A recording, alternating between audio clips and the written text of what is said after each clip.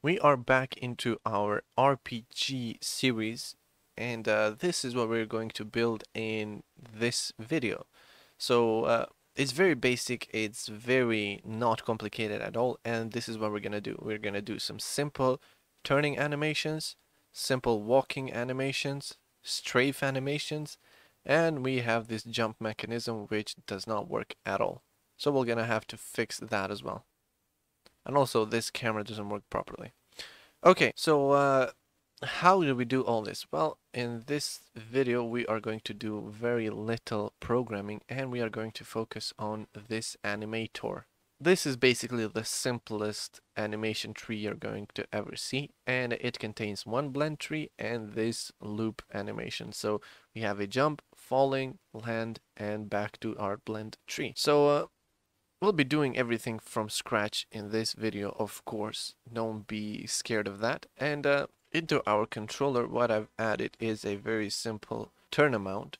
And I've added something else called a on-GUI sphere, which we're going to take a look in just one moment.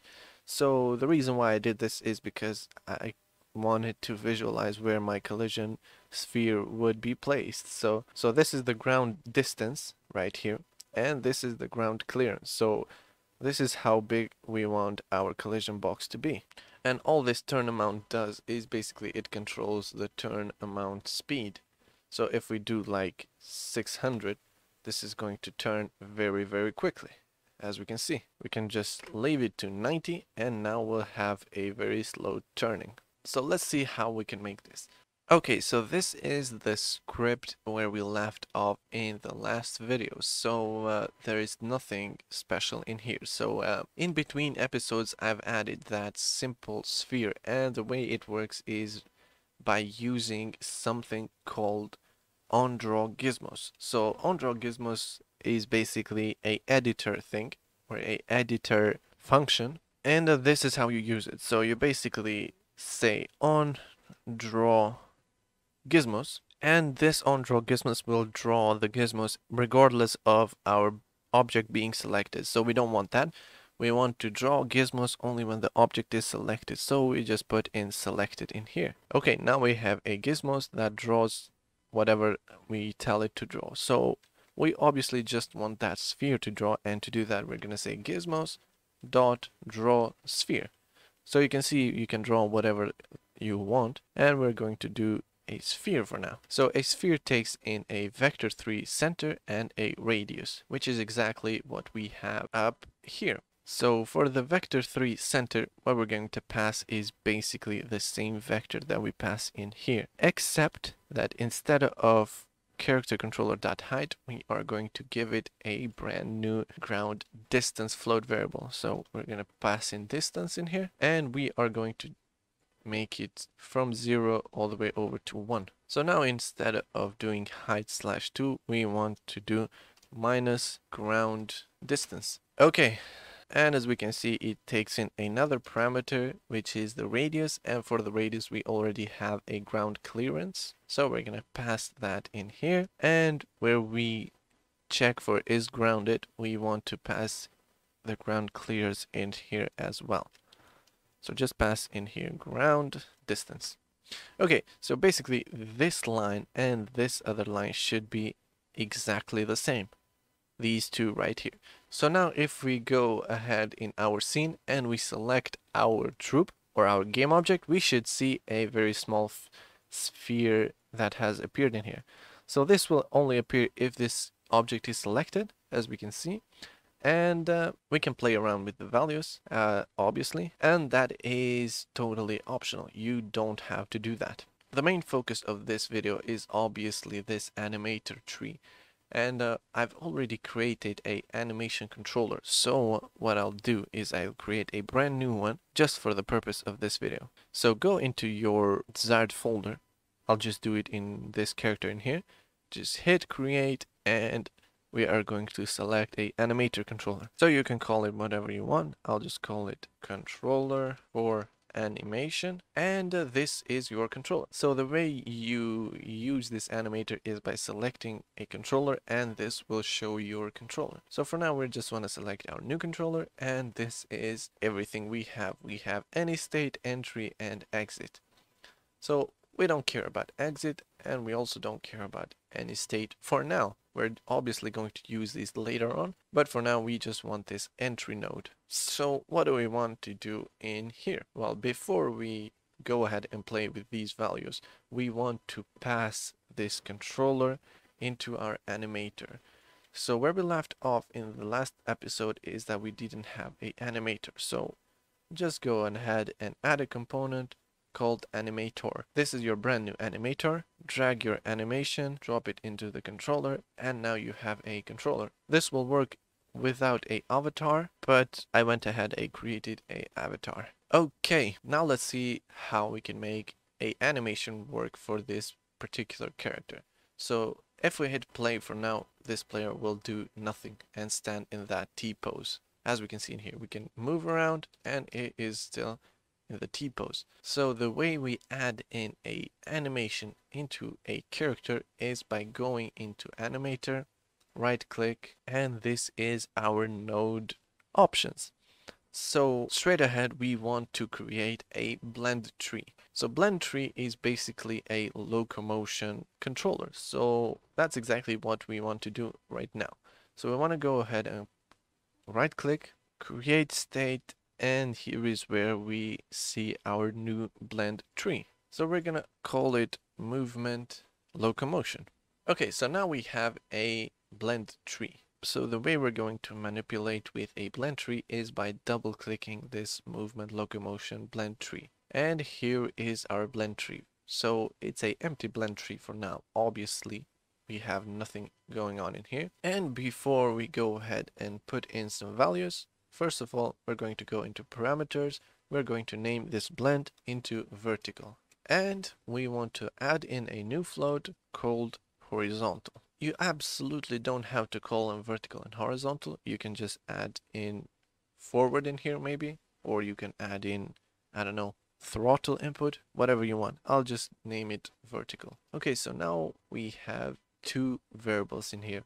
We have a vertical and we have a horizontal. So now the way we're going to manipulate with the blend tree is by first changing the blend type into 2D directional. So now we can immediately see that we have two variables in here and the second one is not correct. So we're going to go ahead and change this blend into horizontal.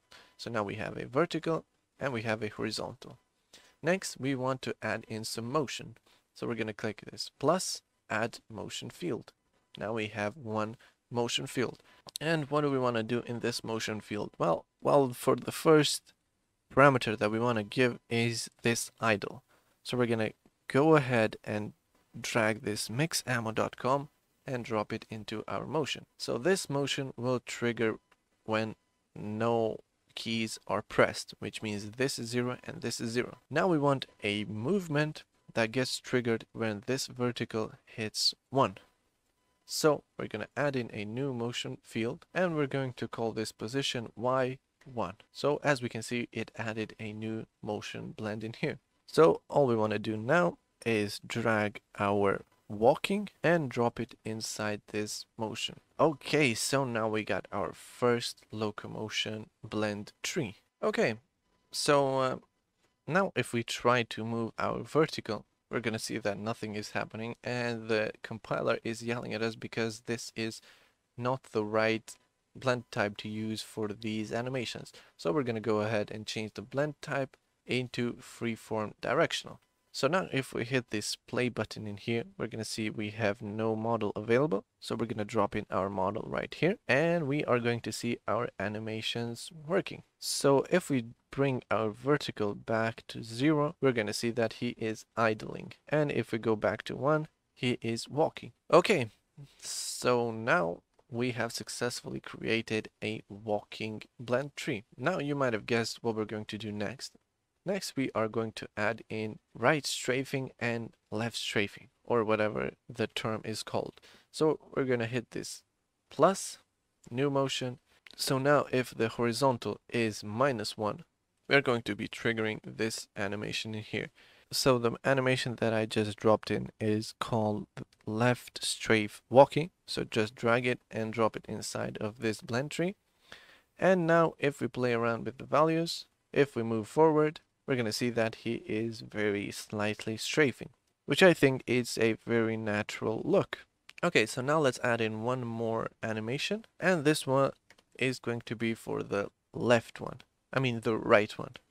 So we have left straight left strafe walking and now we're to pass in right strafe walking. So now it is going to work perfectly fine. Okay, so uh, now we have successfully created a very, very simple blend tree. The next thing that we're going to do is to actually control it. So to do that, we're going to go over to our controller and we are going to import some values. So up here, we're going to do another hide in inspector, public, and this time we are going to call a animator. And just like we do in any component, we are going to have to get that component into the start method. So animator is equal to get component animator. And that is how simple it is to import a animator.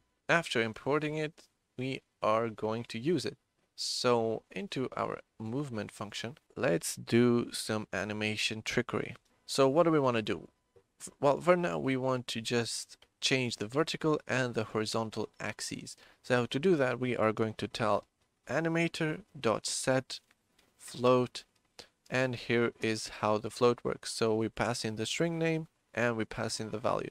So for the string name, we want vertical and we obviously want it to be equal to input dot vertical. Okay, now let's do the same thing for the horizontal. So set float horizontal input manager dot horizontal. Now that we have a animator attached to our game object and we have our animations working, for now we have only one locomotion, we just want to hit play and we want our character to be actually moving. And as we can see, it is already idling, which is good, which is a good thing. So now let's try walking and we can see he is actually walking. Okay, so that is success until now. So what do we want to do now? Okay, now let's try and add in a jumping mechanism. So I've already went ahead and downloaded some jumping animations and this is what I got. I have falling idle, which I'll just drag and drop into here. Don't forget to rename your things because later on it's very easily to get confused with. We want our jumping up and we want a landing animations. So this is how this is going to work. So we want to create a transition from here. So make transition into jump. We also want to make a transition that goes from the blend tree over to falling because we can fall without jumping. Maybe we just ran off a cliff or something. So also we want to make a transition. If we jump, we want to go over to idle. So we want to make a transition to there. And from falling idle, we can't go back straight into our locomotion. So we want to land first. And after landing, we can go back into our locomotion. So now we just need one more value. And the value we're going to pass right now is a boolean. And the boolean we are going to call grounded. And the grounded will most of the time be true. So if the grounded, here is our conditions, if the grounded right here becomes false, we want to go straight into falling. However, if we want to jump, and for that we want to pass in a float variable, so if we want to add a condition in here, if jumping is greater than zero, that means it's one, we want to go into jumping, and from jumping we want to go without any condition over to falling, and from falling we want to go over to landing without any condition and from landing we'll go back into the locomotion. In theory this should all be working fine. So all we have to do is go back into our controller and add in these variables that we just did. So back into our animator, what we want to do is say animator.set boolean. The boolean that we did was called grounded and we want to pass in as grounded. This is grounded is basically checking if we're grounded or not, which we made a function for that in a previous video. And one last thing that we want to add is a animator set float. The float is called jump and the jump will be equal to input manager dot jump. Okay, now we're done with our controller. We just want to hit save, go back into our game, and uh, we should have a jumping mechanism that is working. So let's hit play and let's see if it actually works. Okay, so if we try and jump, we're to see that nothing is happening and that is because this animation has a exit time.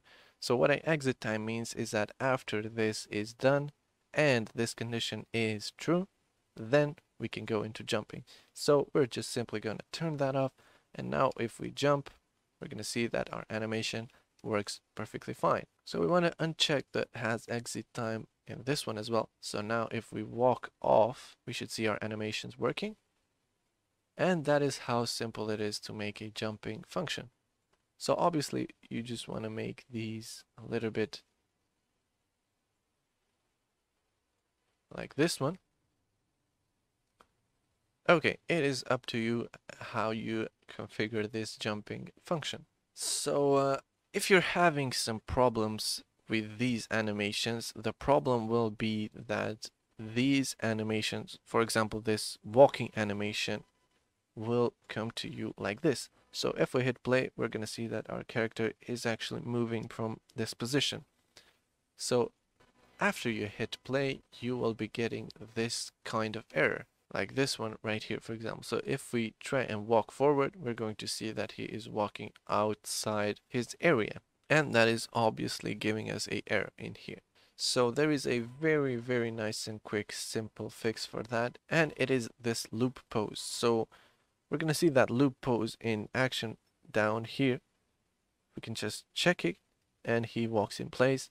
We can uncheck it and he walks off his place. So we want to just check those animations, go ahead and hit play.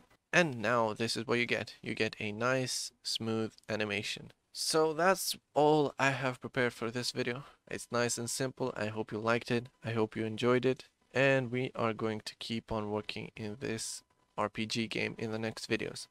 So thank you for watching and uh, I'll see you in the next videos.